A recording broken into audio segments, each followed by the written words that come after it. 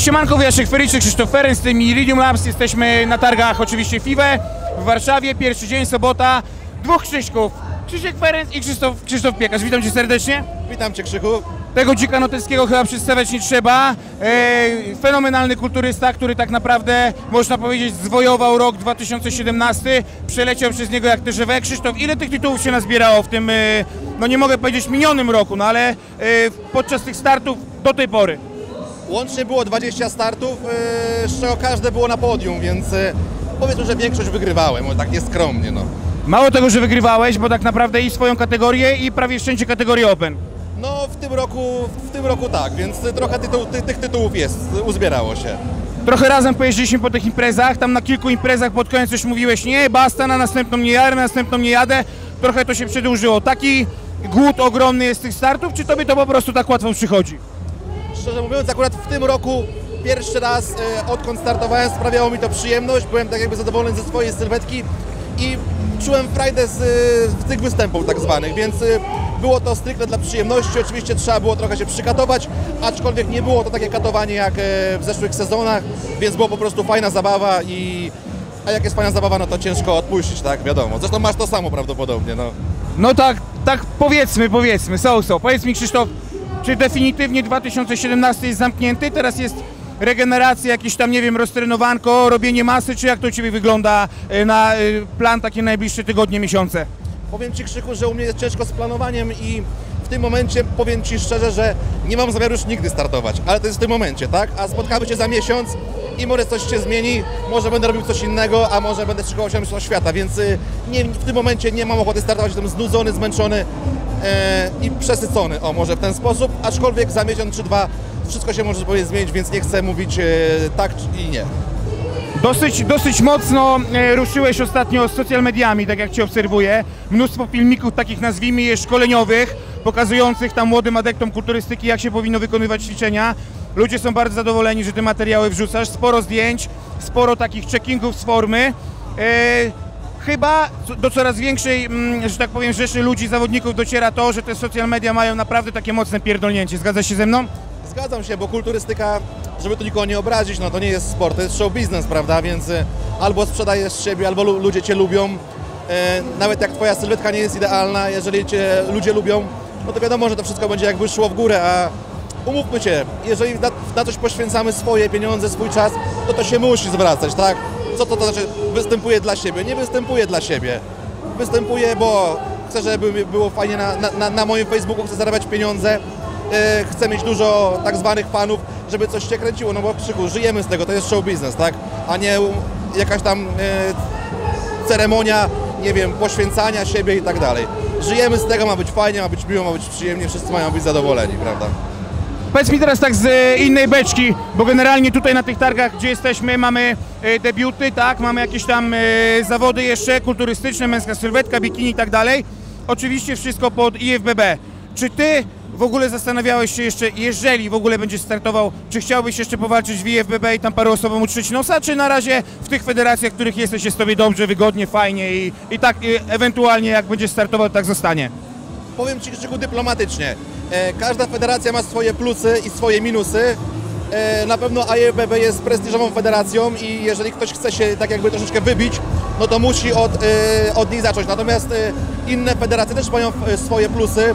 Są naprawdę fajnie, pod niektórymi względami nawet przewyższają, że tak powiem, tą federację. Można zgarnąć finansowe nagrody, no to też jest plusem, tak? No bo umówmy się za pucharek, jechać pół Polski, no to też jest słabo, prawda? Więc e, powiem dyplomatycznie, każda federacja ma swoje plusy i minusy, warto spróbować każdej, a żeby być spełnionym zawodnikiem, to fajnie mieć tytuł mistrza Polski w trzech federacji na przykład, prawda? Więc e, w każdej są inni zawodnicy, tak jak tutaj na przykład startowaliśmy, no to poznałem zupełnie inne osoby, innych ludzi i to bardzo takich wartościowych e, ludzi, żeby nie było, prawda? Mm, Natomiast w AJBB zauważyłem, że jest bardzo duża spinka zawodników i nie ma tej korzystnej atmosfery, którą tutaj odczułem, że tak powiem, bo naprawdę, tak jak Krzyku Cię, na przykład nie znałem Cię wcześniej, poznałem Cię i bardzo mi się dobrze z Tobą rozmawiało, okazałeś się pomocnym człowiekiem, super, prawda, więc e, naprawdę cieszę się, że wystartowałem chociaż z tego, żeby przeżyć e, parę tych chwil, poznać tych ludzi, w tym Ciebie, Adama Sukara, chociaż jego znałem wcześniej troszeczkę.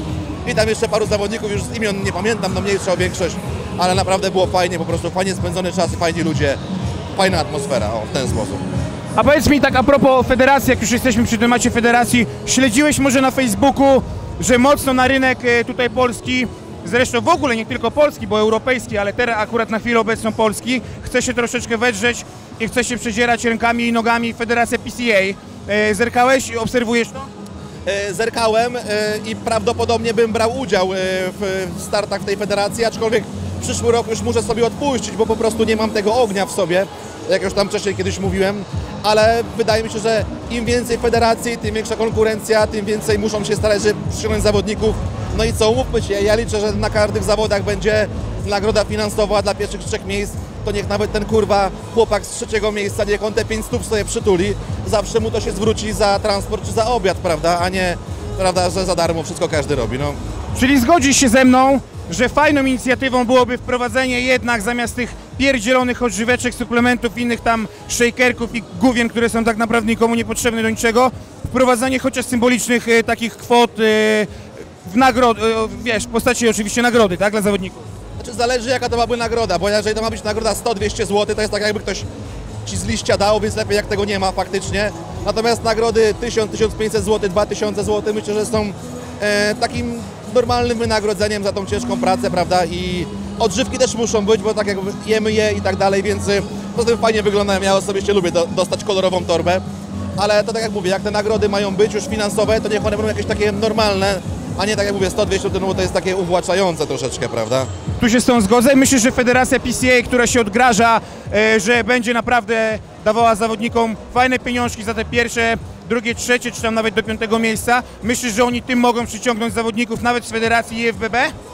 E, Myślę, że tak, aczkolwiek trzeba zobaczyć, jak ona będzie e, funkcjonowała ta federacja, bo na razie możemy gdybać, bo po pierwsze muszą być e, sprawiedliwe wyniki, sprawiedliwe sędziowanie, szacunek dla zawodnika, organizacja i tak dalej. My nie wiemy, jak to będzie wyglądało, więc dajmy tej federacji rozkręcić rok czasu i zobaczymy, prawda? Miejmy nadzieję, że będzie zajebiście.